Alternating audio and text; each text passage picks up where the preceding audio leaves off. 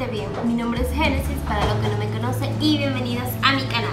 Señores, yo después de cuatro meses y medio aquí regresé. Yo sé que muchos de ustedes dirán, Génesis, pero que ¿a dónde era que tú estabas? Bueno, los que me siguen en Instagram saben que tuve un tiempo en lo que fue preparando mi tesis de la universidad, luego preparándome para la graduación y entre ese tiempo yo estuve trabajando con una amiga en una tienda, entonces por lo que mi tiempo era un poquito limitado, por más que a veces trataba de sacar un tiempecito para grabar, siempre surgía una que otra cosa, pero nada. Ya basta de excusa, ya aquí estamos. Les prometo que va a haber mucho contenido y es más, vamos a tener dos videos a la semana como una forma de recompensar ese tiempo que estuve ausente. Y así que ya saben, vamos a tener eh, planeado video los miércoles y los sábados. Así que ten muy pendiente. Para esto, suscríbete a mi canal y dale la campanita de notificación para que sepas cuando subo video. Señores, el video de hoy es una manualidad, un DIY, como ustedes lo quieran llamar, sumamente fácil. Son unos cuadros decorativos que estaré utilizando cuando esté en la remodelación de mi habitación. En realidad son muchas partes de la casa que estaré remodelando. Eh, la mayoría de cosas que haré son manualidades que quiero compartirlas con ustedes. Así que ya saben, yo creo que este mes y un poco de octubre va a ser de manualidades, integrándole otras cosas para que no sea una monotonía. Así que quédense hasta el final del video que sé que le va a gustar. Nos vemos y le mando un beso enorme para todos. No olviden suscribirse y darle like a este video. Una pistola de silicón, velas, varias, tres o cuatro, depende el, tipo de, de velita que utilice su pistola. Por ejemplo, la mía son de la fina, así que voy a necesitar unas tres y cuatro por un por si acaso. Tijera, los marcos obviamente de los cuadros eh, las medidas serán a su preferencia aquí les dejaré la medida de los míos por, por si acaso y telas la tela que ustedes vayan a utilizar les recomiendo que sea una tela dura como por ejemplo la de forrar cojines o la de forrar muebles. Miren que esta es la que voy a estar utilizando para decorar mis cuadros. Así que vamos a empezar